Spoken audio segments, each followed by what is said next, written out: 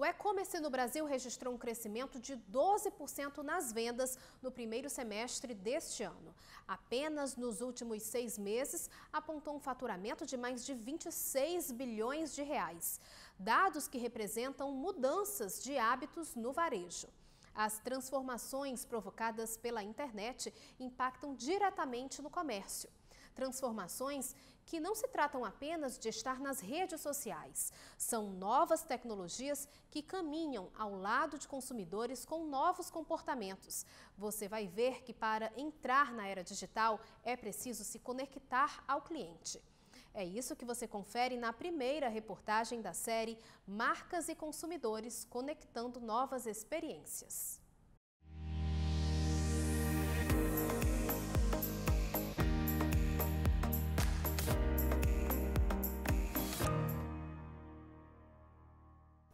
Música, jogos, agenda, tem até relacionamentos, pagamentos e bem-estar.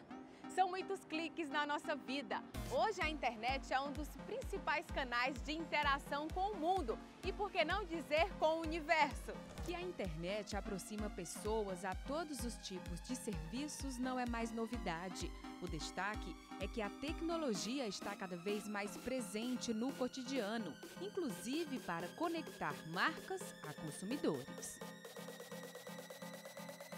Nós temos hoje o mobile né, em linhas habilitadas maior, um número maior de linhas do que de habitantes. Isso demonstra que, que é um canal consolidado, o online é um canal consolidado.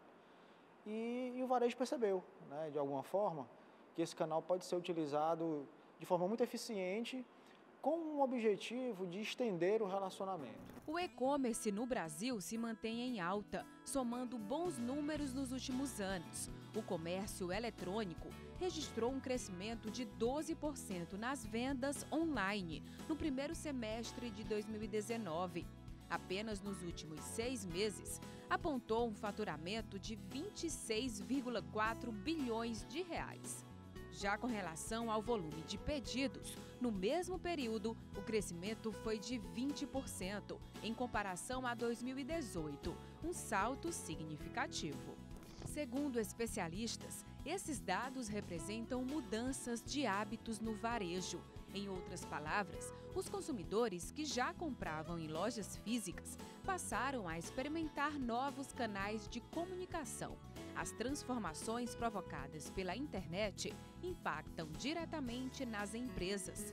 Para entrar na era digital, é preciso se conectar ao cliente quem ele é, quais são os interesses deles e fazer a integração com o que eu faço no offline. Não é não fazer essa distinção, é fazer com que o empresariado entenda né, essa, tem essa mudança de mindset mesmo. Entenda que não existe essa distinção para o consumidor online e offline, que a marca dele tem que estar presente de uma forma integrada nos dois. Se antes o comércio anunciava produtos em jornais, televisões, revistas, a revolução digital impulsionou as marcas a um mundo de possibilidades. O Varejo 4.0 ele permite essa, essa, essa múltipla concepção de canais onde todos eles estão alinhados e todo mundo ganha. Né? Então o consumidor compra na internet, retira na loja ou retira em outro canto, no shopping, por exemplo. Então isso acontece de uma forma muito mais frequente muito mais eficiente. O varejo descobriu né, que existem maneiras bem eficientes de trabalhar a multicanalidade diante do seu consumidor. Clientes conectados e um mercado inovador que colocou as empresas diante da interação online mais offline. É o varejo com a tarefa de trabalhar o marketing 4.0. Existe uma interação entre a venda do varejo tradicional e a venda do varejo atual através da internet, através da tecnologia. E isso é muito bom. Em casa mesmo, ele já tem vitrines para olhar. Ele já é despertado para o consumo já dentro de casa. O conceito desenvolvido por Philip Kotler representa a revolução digital no comércio. Conseguir conectar marcas e consumidores, deixando de lado o trivial e ofertando um caminho de possibilidades e experiências aos clientes. Esse é o Marketing 4.0. O ponto de venda vai ser um ponto de experiência, o PDX.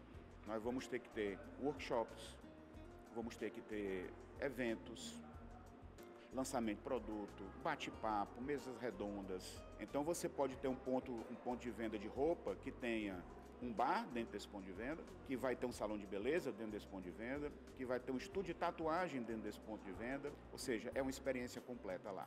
Essa é uma nova abordagem vivenciada às transformações no varejo, que não se trata apenas de ter uma página no Facebook ou abrir um perfil no Instagram. São novas tecnologias que caminham ao lado de consumidores com novos comportamentos. Hoje, hoje nós temos plataformas de e-commerce extremamente qualificadas, robustas, que permitem produção de conteúdo em tempo real, né, que ocasionalmente trabalham a venda, mas não só venda, como também produção de conteúdo. Né? Eu posso vender o, o insumo, posso vender o produto e posso também ensinar o meu cliente como utilizá-lo. Isso significa que, por mais que os consumidores estejam desenvolvendo novas relações por meio da internet, eles não deixaram de lado as experiências físicas. Ainda é o olho no olho, as boas conversas e o relacionamento interpessoal que fazem a diferença no sucesso de uma empresa é o marketing 4.0 aliado à tecnologia e o atendimento pessoal. O fator humano, o atendimento é fundamental. Os colaboradores têm que ser uma extensão da marca. É nesse ponto que a gente diz assim, o colaborador dentro de uma empresa que trabalha o ponto de venda físico, ele é um embaixador da marca. Ele tem que respirar os conceitos que essa marca tem, tem que entender quais são os posicionamentos que ela quer passar, porque a hospitalidade é fundamental. Muitas empresas cearenses apostaram nisso e redescobriram o varejo. Quando Gustavo concluiu o curso de administração, investiu no serviço de delivery de bebidas. Até aí, uma história comum, como várias outras de jovens empreendedores. A diferença foi que o comércio era totalmente virtual.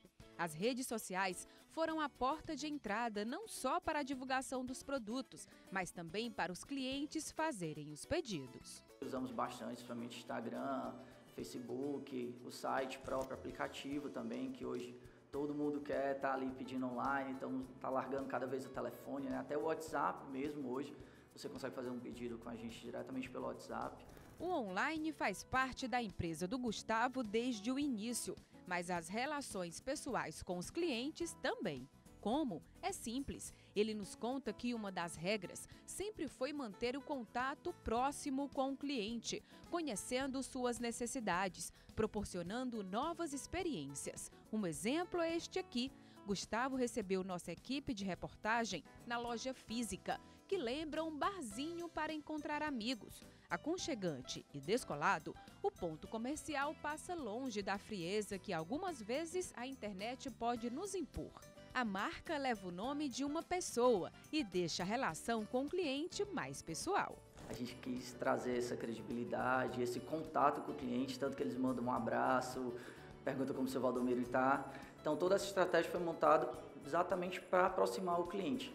Porque como a nossa mídia sempre foi a parte online, a gente nunca entrou por outros pontos, a gente queria dar uma forma de entrar em contato com esse cliente. É aqui atrás que toda a mágica acontece. A variedade de produtos cresceu. Passou da simples cervejinha para uma diversidade de itens, entre bebidas, gêneros alimentícios e outros produtos, como gelo, carvão e até velas de aniversário organizado, planejado, empregados qualificados e entrega rápida, de acordo com a necessidade do cliente.